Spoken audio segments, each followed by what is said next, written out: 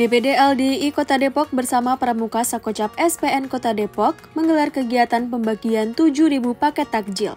Kegiatan tersebut salah satunya dilaksanakan di depan kantor DPD LDI Kota Depok pada Jumat 22 Maret 2023.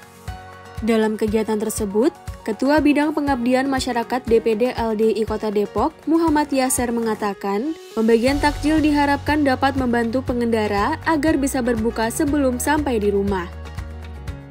Kegiatan ini adalah membantu masyarakat yang sedang melaksanakan ibadah puasa yang mungkin dalam waktu berbuka masih masih adalah dalam perjalanan. Harapan kita dengan kita membagi takjil kita bisa membantu saudara-saudara muslim kita bisa berbuka puasa pada tepat waktunya. Sementara itu, anggota Bidang Pemuda Kepanduan Olahraga dan Seni Budaya atau PKOSB DPD LDI Kota Depok, Nurul Ulya mengatakan, kegiatan ini melibatkan generasi muda LDI yang diwakili oleh Pramuka Sakocap SPN Kota Depok. Dalam hal ini, Departemen PKOSB uh, menyerahkan kepada LDI-LDI muda dalam hal ini Pramuka Sako Sekawan Persada Nusantara. Jadi uh, untuk yang mengeksekusi yang bekerja di lapangan adalah adik-adik dari Satpol SPN.